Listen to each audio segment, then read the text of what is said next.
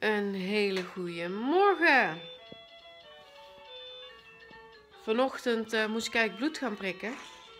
Maar uh, meneer weigerde wakker te worden. Dus ik heb dat niet gehaald. Dus dan moet ik dat morgen even doen. Dus uh, ja, gaan we dat morgen doen. Dan ligt hij gewoon lekker te spelen. En uh, ik ben gewoon huishoudelijke dingetjes aan het doen. En ik ga zo even wat eten en dat soort dingen. En Jordi krijgt dadelijk ook weer zijn fruithapje. Dus uh, de dag is weer begonnen.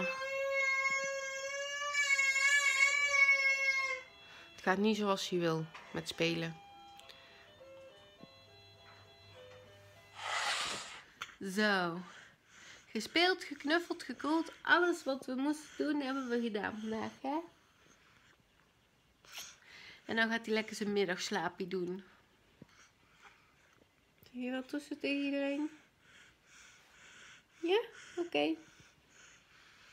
Mm. Hij gaat lekker zijn flesje opdrinken en naar bedje toe. Ja. Mm. Er is iemand wakker. Hoera, hoera. Dat kun je wel zien, dat is Jordi. Hallo, wat gaan we doen?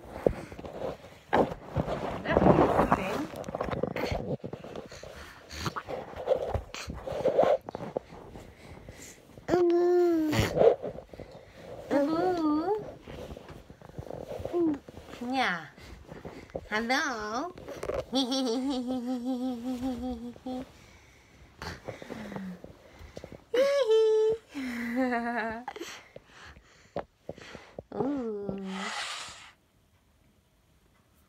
Nou, die is net gespoeld. Daarna hebben we even gedoucht samen. Zijn flesje heeft hij helemaal op. Nu ligt hij lekker te slapen en dan gaat hij daar naar boven. Dan gaan papa en mama nog even hier uh, een beetje opruimen. En dan is de dag weer een heel eind uh, voor elkaar. Toppie. Een hele goede morgen. Gisteren zijn we vergeten de vlog af te sluiten. Want uh, we waren op een gegeven moment zo verschrikkelijk moe. En uh, zijn gewoon geslapen. En vanochtend zijn we bloed gaan prikken, Jordi. Want mama moest bloed prikken. Ik heb hem wakker moeten maken. Daarna even medicijnen voor Jordi gehaald. Zijn antibiotica. En toen even gauw naar de winkel geweest. En nu ligt hij even lekker te spelen. Vanmiddag moet ik naar Tilburg toe. Voor bloeduitslagen van mijn uh, gastric bypass. En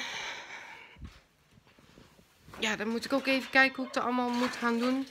Want dan moet ik Jordi uit de slaap halen. Ons eerder uit de slaap halen. En dat gaat ook wel weer wat worden. Want ja, ritme is toch wel heel belangrijk voor uh, dat manneke.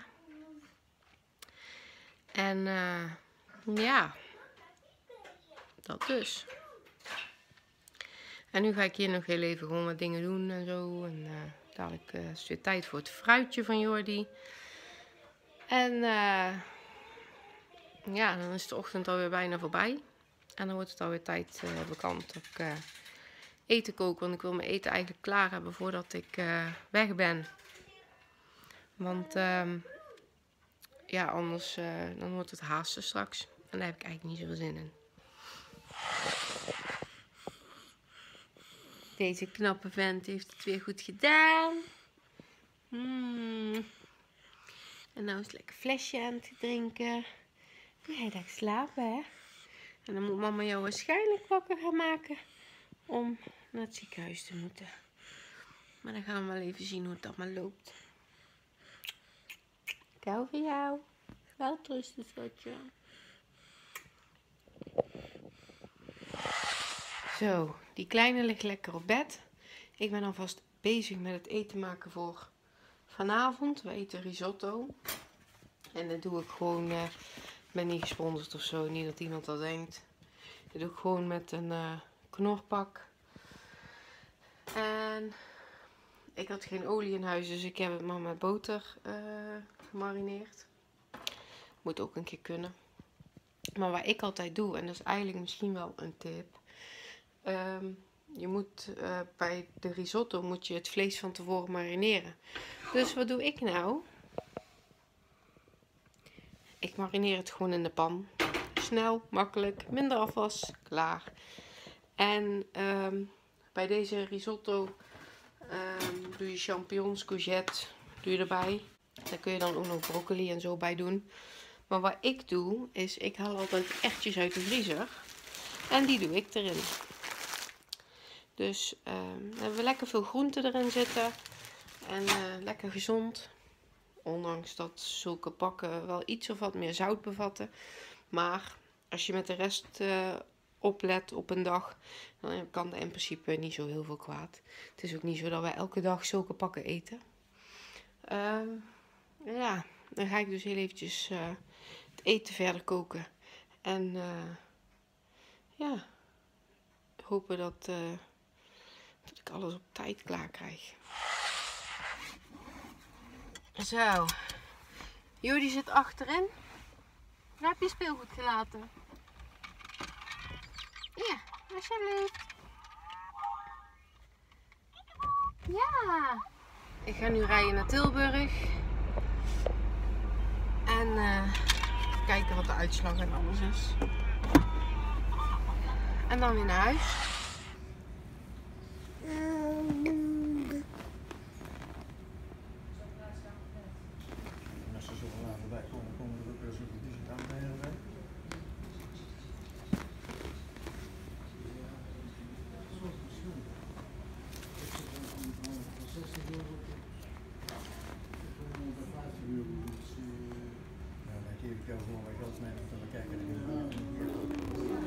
Is nou weer zover er ook zo, als we een goede verhaal met het terug. Ja.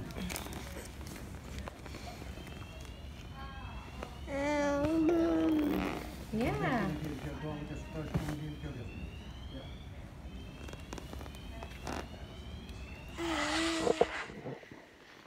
Zo, ik heb straks voor het laatst gevlogd toen ik naar Tilburg ging rijden. En daarna heb ik het niet meer gedaan. Ehm, bij Tilburg liep alles uit, want ik kwam daar al aanlopen en ze hadden een, eh, Brandoefening. een brandoefening. En ik mocht niet naar binnen. Dus ik was te laat voor de afspraak. Maar uiteindelijk eh gehoord dat alles eh, goed eruit zag qua uitslagen enzovoorts. En besproken hoe we het verder gingen doen. En eh, dus dat is allemaal geregeld.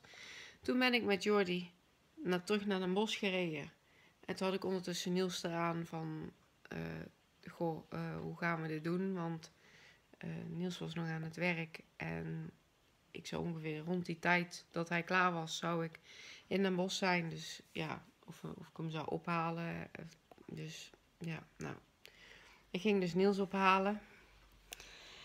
Toen eh, stond ik op het kruispunt voor zijn werk. En eh, toen eh, ging de koppeling kapot. Toch? De bediening van de koppeling in ieder geval. Maar Ja, nou, ehm, ik stond dus midden op dat kruispunt. En ik moest dus weg zien te komen. Want het was hartstikke druk daar. En ja, ik zat met Jordi in de auto. En kant een auto die op ons inreed en alles. En ik moest die auto daar weg zien te krijgen. Dus dan ben ik niet zo iemand die snel in paniek raakt. Maar sinds dat ik Jordi heb, Oh, toen had ik echt zoiets van, en nou, dadelijk rijdt er zomaar een auto op ons in, en dan? Dus ik uiteindelijk die auto uitgezet, want ja, die koppeling deed dus niks meer. Je moet Mhm. even zeggen of ik het goed zeg. ja, ja. Die koppeling die zat dus zeg maar in principe onderin. Daar kon je dus niks meer mee doen. Dus het enige wat ik nog kon doen was die auto uitzetten en aanzetten In de versnelling. in de versnelling. Zodat die auto in ieder geval Eruit. reed. Dus zo ben ik bij zijn werk, zeg maar, aangereden. Ondertussen Niels gebeld van help, shit, wat gebeurt er nu? Dus uiteindelijk Niels ernaar gekeken. En toen was de... Toen bleek dat de...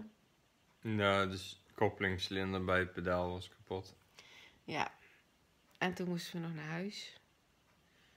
Toen heb ik verder gereden. Ja, want hij is de automonteur, ik niet. Toen hebben we dat... Jij hebt nog dat onderdeel kunnen regelen. Ja, en die heb ik nog vervangen. Ja, dus die heeft Niels nog vervangen. En eh, ondertussen ben ik met Jordi aan de gang gegaan. Want Jordi was tussendoor ook nog in slaap gevallen. En uiteindelijk eh, sliep hij om kwart over negen. Nee, om kwart over negen sliep hij nog niet.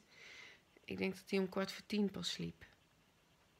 Want hij was tussendoor in slaap gevallen. Dus hij had een hazenslaapje gedaan. Dus ja, had zoiets van, ja, ik ben nog niet moe. Dus ehm, daar ben ik eigenlijk de hele tijd mee bezig geweest. Dat is mijn, eh, mijn, mijn dag. Was heel spannend voor jou, of niet? Ja. Ik ben, ik ben kijk, ik, dat weet niemand eh, in principe voor de mensen die ons niet kennen. Eh, ik heb gelukkig heb ik een opa die eh, vroeger ook wel wat dingetjes uitgelegd heeft en weet ik het allemaal. Dus ik weet wel wat. Ehm, en ik, Niels die heeft ook wel het een en ander uitgevreten in het verleden. Dus ik ben niet zo gauw bang aangelegd. Maar sinds dat ik Jordi heb en nou zwanger ben, ja, ben ik toch wel wat angstiger als eh, wat ik normaal Hormonaler. Oh, helemaal hormonaler. Dus ik, ja, ik herken mezelf ook niet zo eh, hoe ik straks was. Want ik had echt zoiets van, dit gaat niet goed, dit gaat niet goed, dit gaat niet goed. Maar eh, En uit- dan komt ze mij tegen. Oh ja. ja, dan is hij zo droog. Die zegt van, oh ja, maar dat is dit en dat. Daar kunnen we gewoon mee rijden. Ik zeg, jij bent niet helemaal goed. Ik zeg, daar kunnen we gewoon mee rijden.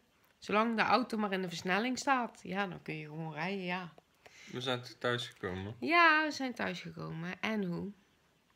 Brum. En Jordi had de grootste lol. Ja, die vonden wel leuk dat je weer Want dan ben je iedere keer aan het schokken.